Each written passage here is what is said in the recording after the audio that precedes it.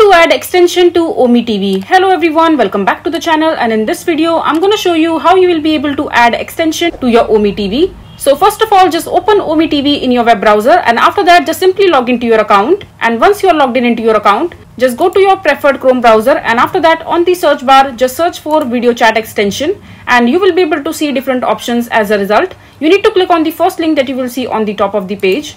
Just click on it and after that you need to add this particular extension which is called video chat extension for IP locator for Omegle. Just click on add to Chrome. Just click on add extension. And now it has started downloading. Once it is done downloading just close this window. And after that just open your OmeTV window again. And after that just simply refresh this page. And here you will see this pop up on your page which says that please choose the mode to suit you best and just click on OK.